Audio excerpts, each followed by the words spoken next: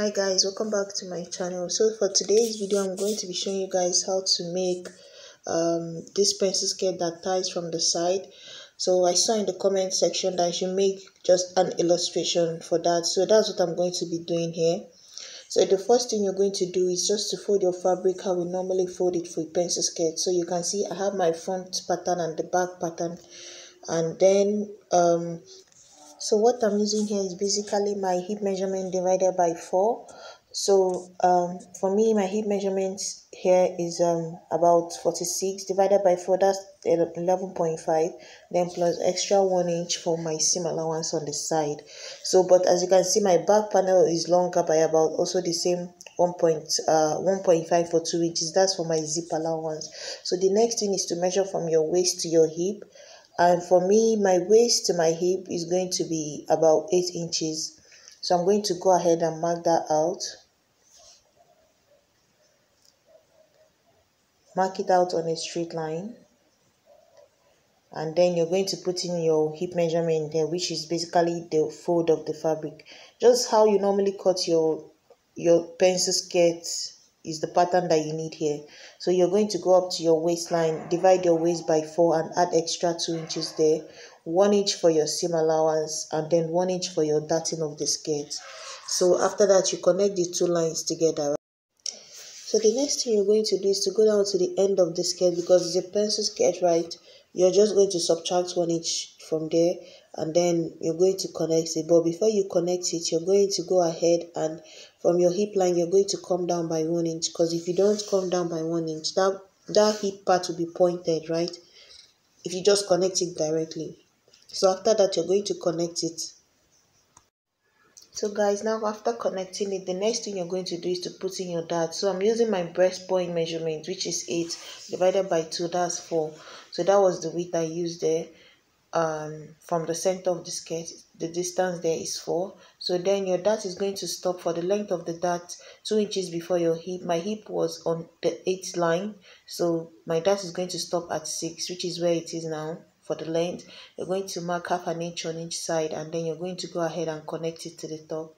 So and then after that you're going to notch notch it so that you know that that's where you're going to place your dart on all the sides of the skirt so guys now that we finish marking out our um, basic bodice. So the next thing we're going to do is to just come down one inch from the waist of the uh, skirt.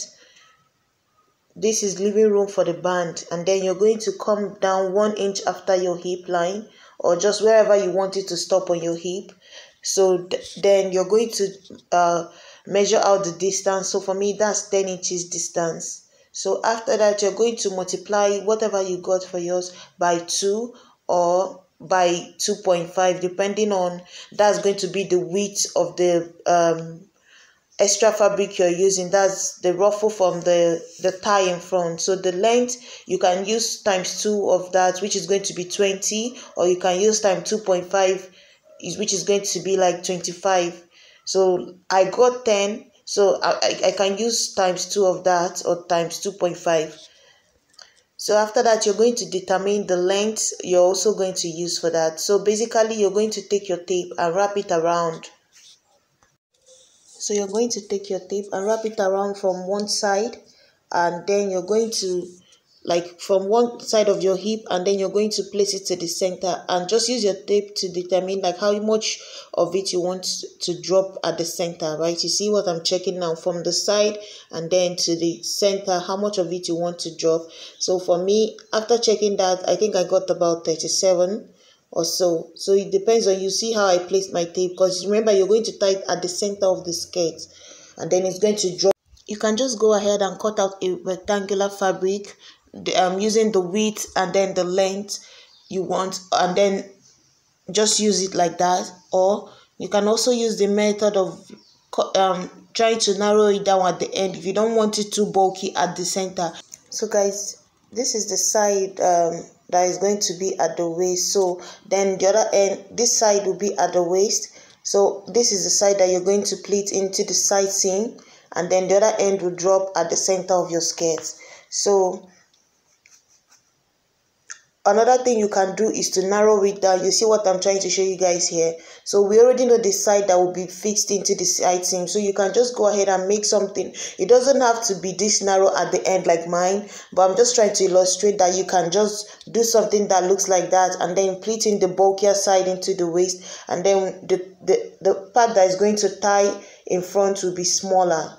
So that's what i'm trying to so it's going to look something almost like a triangle shape is what i'm trying to explain and then when you're you, when you cut it out the ends will be folded just the same way you fold the end of your cloth. So you're just going to fold it that way. What i'm using for my illustration. So let's say this is the skirt this is the waist part this is the hip coming down this is the back.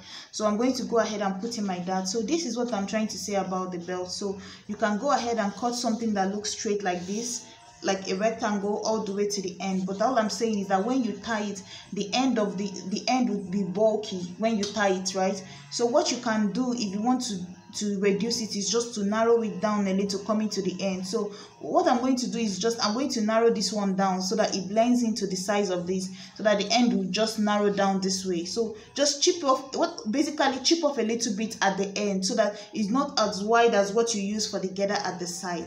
So that's what i'm saying so i'm going to just go ahead put in my dart and then show you guys how you're going to attach this side. So this is between the front and one side of the back.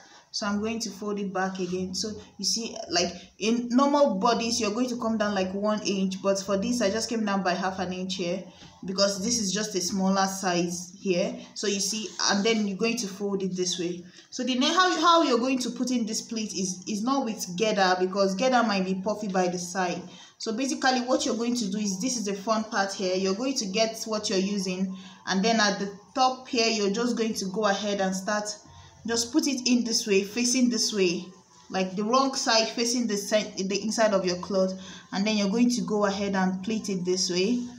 Just pleat it a little is what i'm saying. Just pleat it. Instead of using gather for it just go ahead come down one inch and just pleat how much however you need for it. And then after that you're going to maybe use pin to hold it down right? Use pin to hold it down. And then you're going to go ahead take the back side of it put it on top and then go ahead and sew it close so after you sew it close this is what you have on this side right? And then you have these two so guys this is what you have now after that. So you have one side coming this way and then the other side coming in this way with the pleat. So you just go ahead and tie it. You see? So you can go ahead and tie it. You can tie it on the side. You can tie it to this side. You can tie it at the center like how the thumbnail tied it so that's basically how you do it. And then you go ahead and put in your band. So to put in your band all you have to do is to cut out the waist of your skirt right? And then normally you cut out like five inches width and then round your waist. Like you're going to measure around the waist including the zip allowance everything round the waist. And then you're going to go ahead but the width you're going to use is about five inches so that when you fold it you have two 2.5 on each side. And then you're going to use half an inch tuck half an inch in this way tuck half an inch in this way and then you're going to start from one side of the back.